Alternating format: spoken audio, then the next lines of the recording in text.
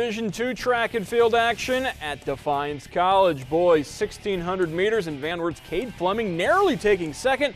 St. Mary's Matthew Judy just misses out in the top four, so Fleming moves on to the regionals. Girls 4x100 relay. OG in second, followed by Kenton and Elida. All three of those WBL schools will make the regionals next week. Shawnee's Christian Ford finishing up the 4x1 as Shawnee takes third.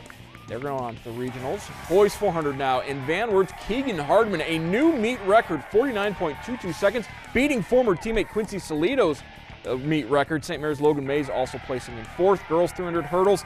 Ottawa Glandorf's Melissa Knott just missing out on the top four as she would take fifth place. Kenton's Austin Baroker finishing third in the boys 300 hurdle. Shawnee's Jabril Williams would finish in fifth place. Finally, the boys 800 meter run. Ottawa Glandorf's Ben Wishmeyer taking third. Van Wert's Dylan Lotzenheiser would take fourth.